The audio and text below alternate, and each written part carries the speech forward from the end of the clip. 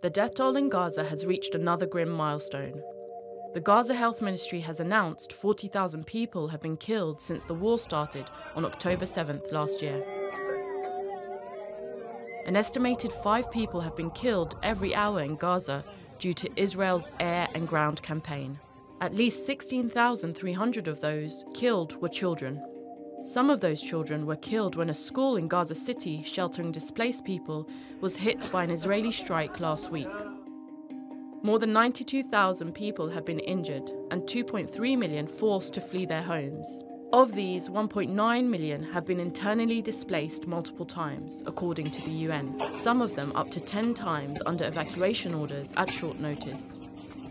83% of Gaza has been marked as unsafe for Palestinian civilians by the Israeli military. These areas have been placed under evacuation orders or designated no go zones. As a result, many find it nearly impossible to find adequate shelter, clean water, or sanitation in the remaining 17% of the strip. The humanitarian crisis is deepening with each passing day. With no end in sight, the world watches on as the death toll in Gaza continues to rise.